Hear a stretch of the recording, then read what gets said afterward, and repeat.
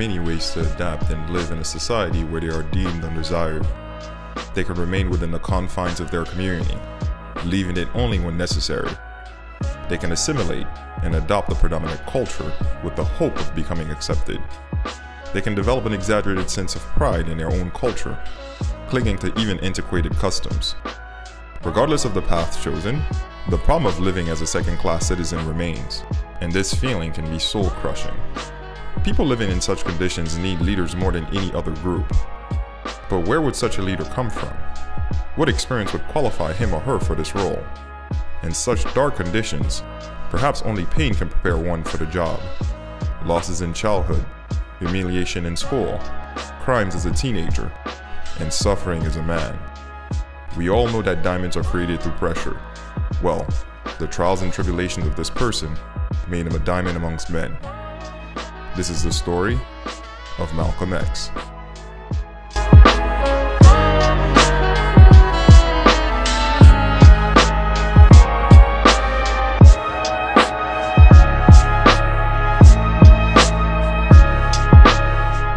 Malcolm Little was born in Omaha, Nebraska on May 19, 1925. He is the son of Earl Little and Louise Helen Norton Little. The couple had seven children together, in which Malcolm was the fourth. Both Earl and Louise were activists, teaching their children black pride and self reliance. Malcolm's father was a local leader at the Universal Negro Improvement Association, an organization founded by black nationalist and pan African activist Marcus Garvey, a man Malcolm's father deeply admired. Due to threats from the Ku Klux Klan, Malcolm and his family relocated to Lansing, Michigan, only to be harassed and have their house burned by the Black Legion, a terrorist sister organization of the KKK. When Malcolm was six, his father's body was found severed on streetcar tracks. Many believe this brutal murder was done by the Black Legion. The homicide, however, was dismissed by local authorities and labeled a suicide. This event was deeply disturbing to Malcolm and his mother. Six years later, Malcolm's mother was declared insane and committed to a state asylum. Malcolm was sent to a foster home and attended school.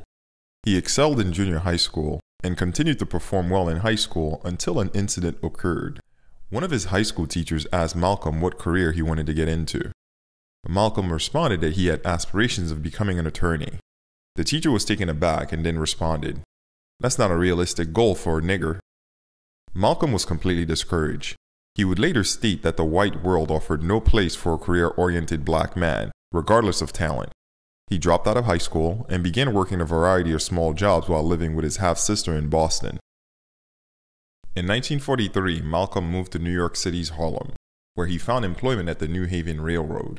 Having accepted the fact that mainstream had no place for him aside from subaltern jobs, he plunged himself into a life of crime. He operated under the criminal name of Detroit Red. He engaged in drug dealing, gambling, racketeering, robbery, and pimping. Malcolm pretty much became a statistic. When summoned by the local draft board for military service in World War II, he dodged active duty by rambling the following to the recruiter I want to be sent down south, organize them nigger soldiers, steal us some guns, and kill us some crackers. He was declared mentally disqualified from military service.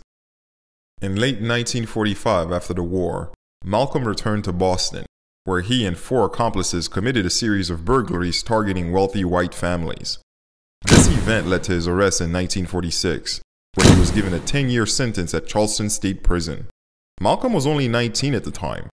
Two years later, he was transferred to Norfolk Prison Colony, a place that would mark a turning point in Malcolm's life. At Norfolk Prison, Malcolm met a fellow convict named John Bembry, a self educated prisoner he would develop total respect for. Bembry persuaded Malcolm to reform himself. Under his influence, Malcolm developed a voracious appetite for reading. He studied history, science, philosophy, psychology, and religion. He read books by Gandhi on a struggle in India. He read about the Opium Wars in China he read about African colonization. Most importantly, he found pamphlets from the Abolitionist Anti Slavery Society and read descriptions of the atrocities committed against the slaves. He would go on to say, I will never forget how shocked I was when I began reading about slavery's total horror. Book after book showed me how the white man had brought upon the world's black, brown, red, and yellow peoples every variety of suffering and exploitation. Around the time Malcolm was in prison, a relatively new religious movement claiming to be the true religion for black people was spreading. This movement was known as the Nation of Islam, I'd like to side note here and mention that the Nation of Islam represent a more extreme sect of Islam and is not a true reflection of the religion. Anyway, this movement would reach Malcolm through several of his siblings, but he initially rejected it. Malcolm was actually called Satan inside prison because of his detest for God. The idea of a just God letting one race be oppressed by another made no sense to him. Finally, Malcolm's brother Reginald paid him a visit in prison he shared with Malcolm some of the teachings from the Nation of Islam, including the belief that white people are devils. As you can probably imagine, this idea found fertile soil in Malcolm's mind. In late 1948, Malcolm wrote to Elijah Muhammad, the leader of the Nation of Islam. Muhammad advised him to renounce his past, humbly bow in prayer to God, and abandon the last name given to him by white slave masters who owned his family. This conversion to the Nation of Islam is what pushed Malcolm to change his last name from Little to X. Thus, Malcolm X was born. After his release from prison in 1952, Malcolm X visited Elijah Muhammad in Chicago. He was made assistant minister at the nation's Temple Number 1 in Detroit. Later that same year, he established a temple in Boston. Two years later, he would again expand by establishing Temple Number 12 in Philadelphia. Two months later, he was selected to lead Temple Number 7 in Harlem. There, he rapidly expanded its memberships. Thanks to Malcolm's effort, the Nation of Islam grew from 400 members in 1952 to over 150,000 members by 1962. His admirers included celebrity Cassius Clay. Wait, who? Cassius Clay is the original name of boxer Muhammad Ali, he changed his name after becoming close friends with Malcolm X and dropped his slave name, Cassius Clay, and became Muhammad Ali. Malcolm was highly intelligent and an excellent speaker. He also had an impressive physical presence. He stood 6 feet 3 inches tall and was well built. He was well groomed and many described him as very handsome. This magnetic quality led him to quickly rise the ranks within the Nation of Islam making him second in command only to Elijah Muhammad himself. But what was Malcolm X preaching? What were the philosophies that people still remember him for to this day? Let's have a look. Malcolm X believed that black men should look to themselves for solutions. He argued that the two major issues in the black community is first, the fraudulent education they receive from public schools, and second, the moral perversion that black urban culture encourages. He preaches for black men and women to let go of vice, embrace industry, and honest trade with one another. This will then lead to self respect and ultimately autonomy and freedom.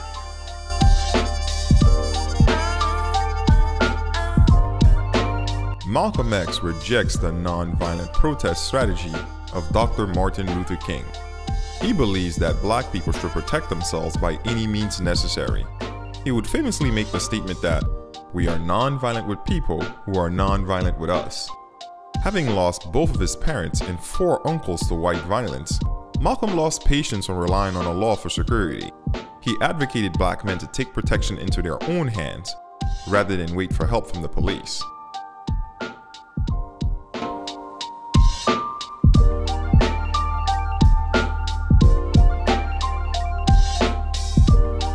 Malcolm X and the Nation of Islam believed that African Americans must separate from white society rather than integrate. He argued that a form of reparation can be a 10% land allocation to African Americans only, where they can live and build their own infrastructure, police, and technical innovations. In other words, he wants a black civilization.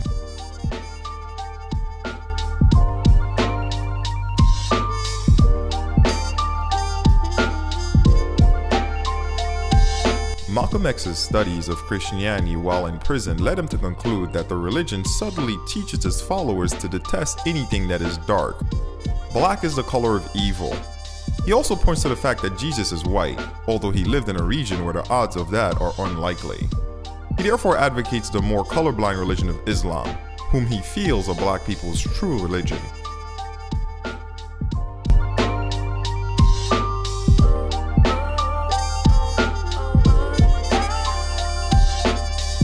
Malcolm concluded that every relationship he had with whites had been tainted with dishonesty, injustice, greed, and hatred.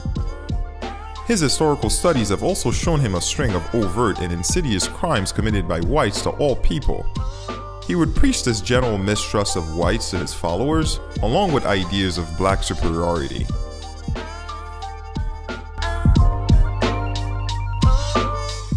As Malcolm continued to gain prominence in 1955, he met a woman named Betty Sanders at one of his lectures. The two would marry three years later in 1958 and have six daughters together. Malcolm would continue gaining notoriety and spreading his influence. However, America during that time experienced racial tensions far beyond what we know today. This tension would inevitably arrive at Malcolm's doorstep. In 1961 came a violent confrontation between Nation of Islam members and LAPD. Police officers shot seven Muslims.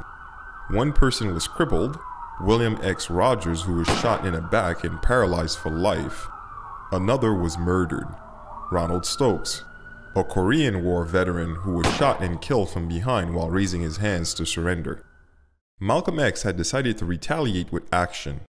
He rallied the more hardened Nation of Islam members to take violent revenge against the police. This action, however, was blocked by Elijah Muhammad.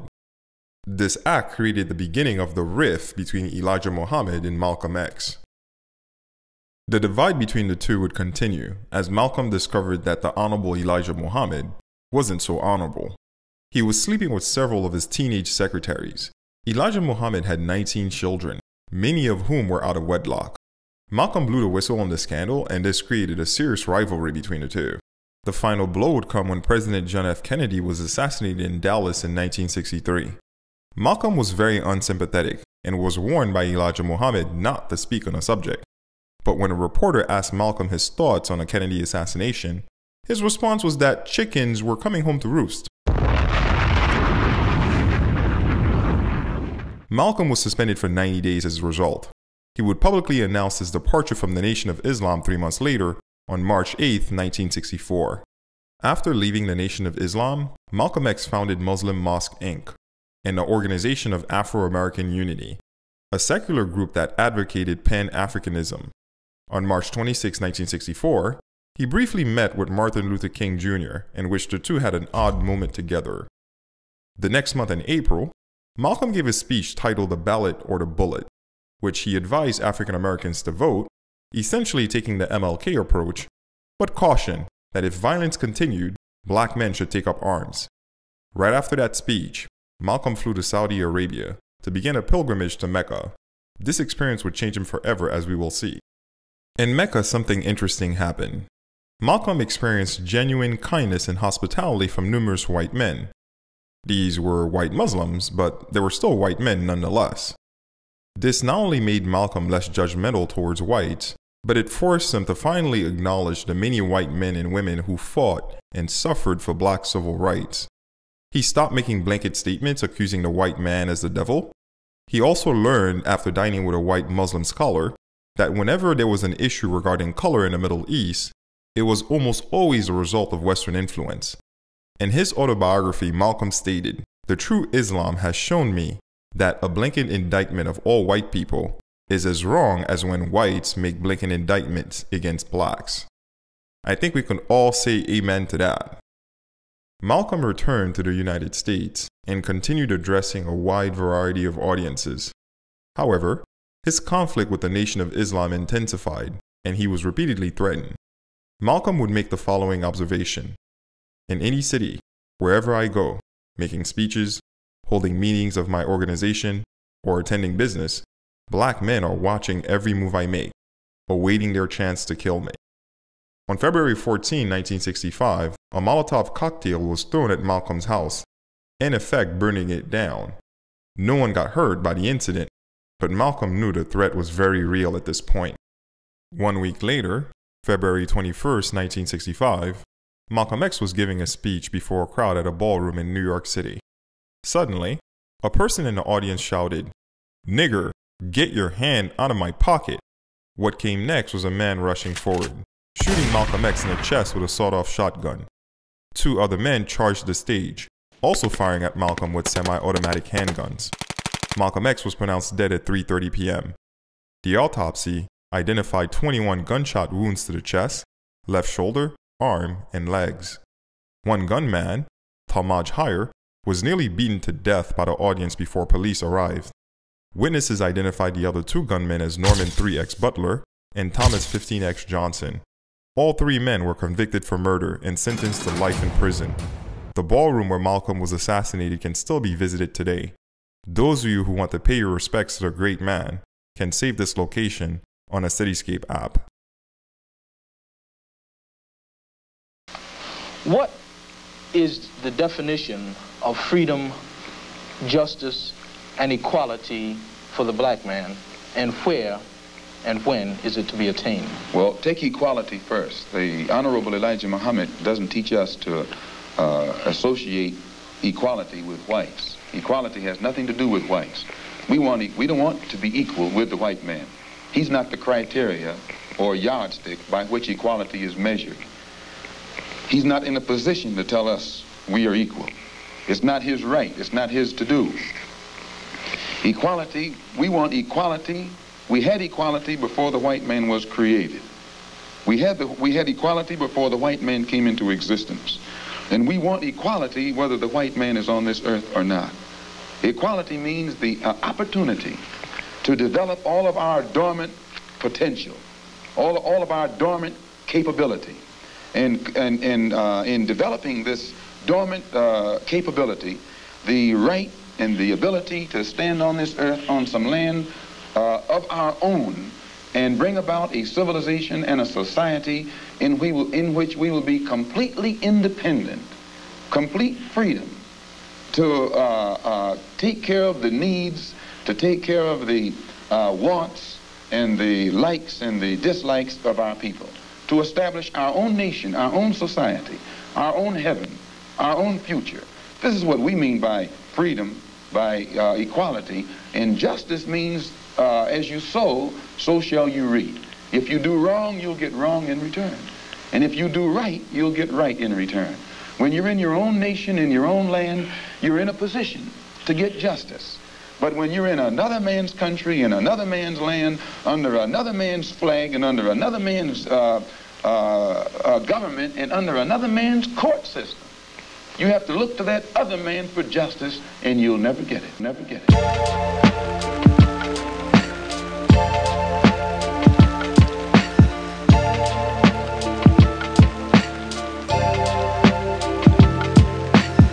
So, who killed Malcolm X?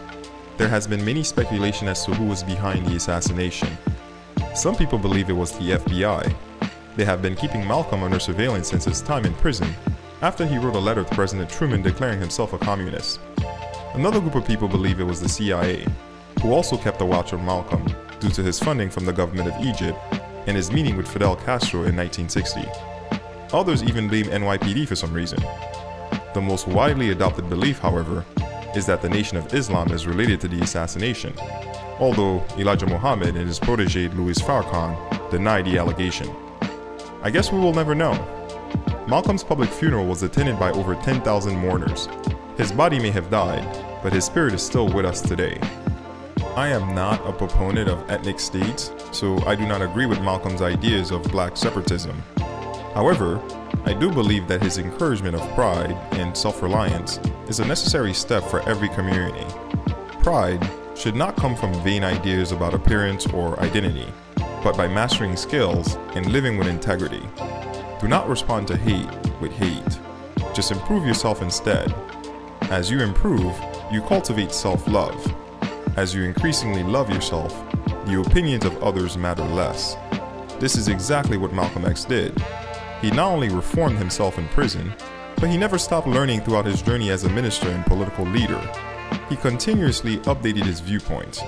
We see this when he finally endorses Martin Luther King by encouraging black men and women to vote. And we also see this when he dropped the idea that all whites are devils after his visit to Mecca. Malcolm X improved himself so much that his self image became above the opinion of others. And this is where true freedom lies being above the opinion of others. See you next time. What's going on, guys? This is James Allen. I hope you enjoyed watching the Malcolm X episode as much as I enjoyed making it. Uh, one thing I want to mention that is, um, as a millennial, and a lot of you watching this are Generation Z according to YouTube, I think us young people, we tend to forget that an entire generation before us literally put their bodies on the line so that we could have this multiracial society that we enjoy today. I think we've sort of taken diversity for granted because we're so used to it that we sometimes forget that not too long ago that didn't exist. So that's one thing I want to mention, basically us paying our respect to the generation before us, which Malcolm X was part of. Now, before we end this episode, there's one thing I'd like to address, the obvious clearly. That is, my name is James Allen, and as you could tell, this is the slave master's name. So I was wondering of changing my name to Lumumba Shakur Abdul. What do you guys think?